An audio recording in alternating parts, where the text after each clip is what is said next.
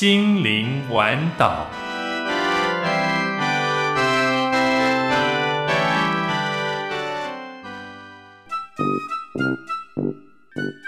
忙碌了一天，此刻你需要心灵的休息与沉淀。心灵玩岛是你心灵的加油站，为你加油，为你充电。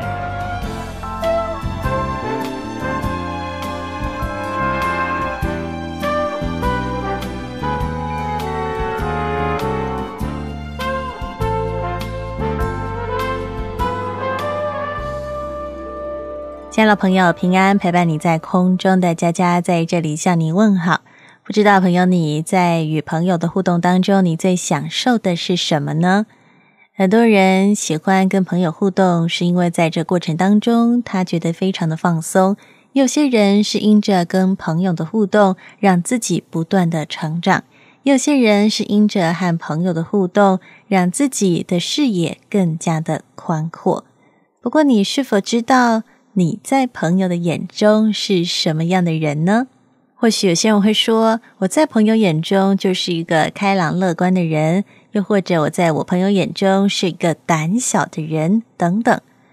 不知道当你听到朋友用他们觉得你是什么样的人来形容你的时候，你觉得他们的描述贴近自己吗？我们每一个人从小到大都需要朋友，不可能一个人从小到大不需要与人接触。就算今天有一个人他没有什么朋友，但是当他今天要出社会工作的时候，依然需要与人互动。或许有些人会说，现在流行 SOHO 族，也就是不需要到公司上班，不需要跟许多的同事或者是老板沟通，只需要自己一个人在家里创业就好。但即便如此，自己创业也需要与人沟通，不是吗？你需要了解一些专业知识，又或者你有一些客户，那么当你与客户沟通的时候，不也是一个人际互动吗？今天在空中，佳佳就要和你分享一则施以诺医师所写的一篇小短文。这篇小短文的标题呢，叫做《让你的存在成为别人的祝福》，也就是无论你在哪边做什么事，都会让人留下美好的印象。而且深深觉得与你在一起真是快乐，也很期待每一次与你的相处。一段月后，就让我们来听听这则小故事。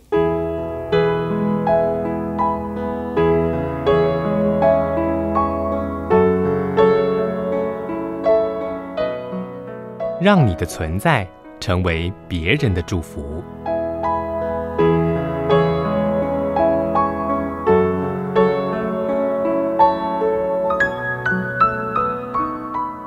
一只蜜蜂和一只黄蜂正在聊天。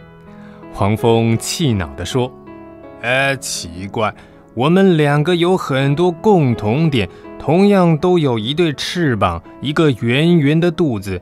为什么别人提到你常是开心的，提到我却说我是害虫呢？”黄蜂接着又愤愤地说：“啊！”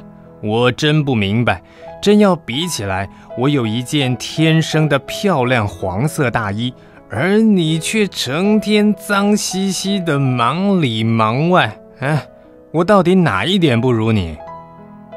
蜜蜂说：“黄蜂先生，你说的都对，呃，但我想人们会喜欢我，是因为我给他们蜜吃。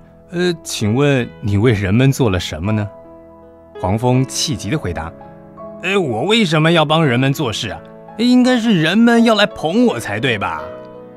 蜜蜂接着说：“你希望别人怎样待你，你就得先怎样待人。”很多人常会有怀才不遇的感慨，觉得为什么自己有那么多的优点、才华、能力，但却没有人懂得欣赏，在人们眼中似乎总被忽略、冷落。其实，就像故事中的蜜蜂与黄蜂一样，一个人在这世界上的价值，不在于其拥有什么，乃在于其为旁人付出了什么；不在于其拥有优势、才华或能力，乃在于用那些优势、才华、能力为旁人贡献了什么。一个人的存在，如果无法成为别人的祝福，那么纵使他拥有再好的条件，也是枉然。让我们的存在成为别人的祝福，让我们的存在为别人带来香气，让旁人的日子因为有你而变得更加美好。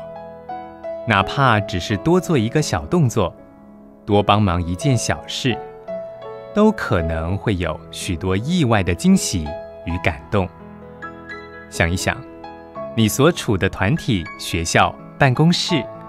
有否因着你这个人的存在，而变得更美好、更和气吗？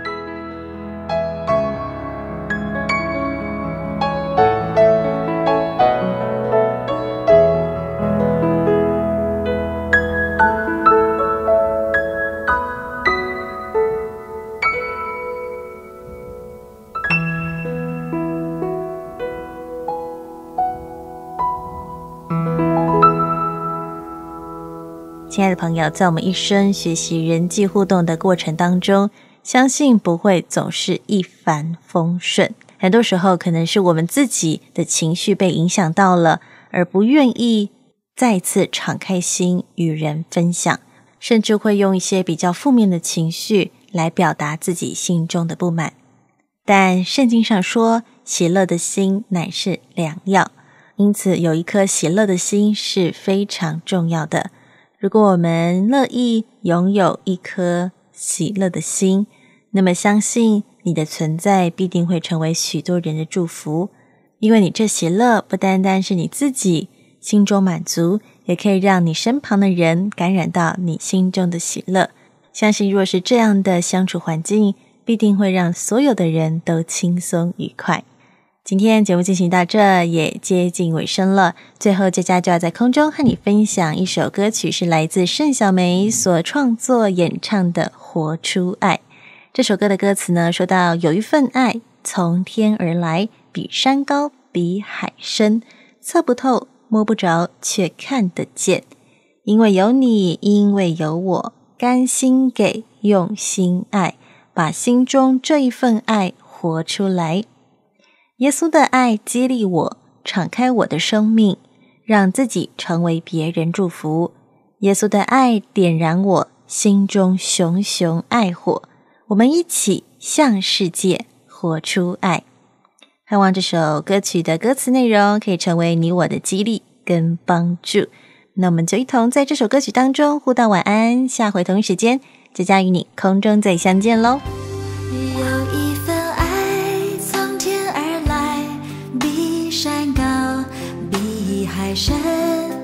测不透，摸不着，却看得见。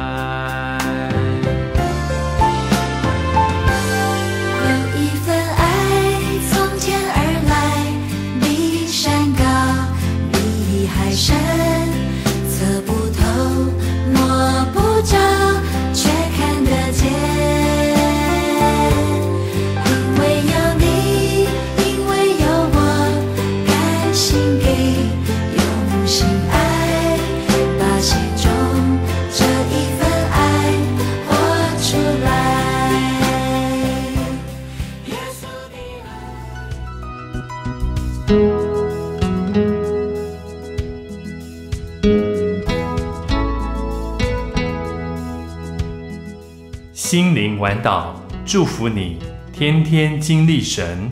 步步与主同行。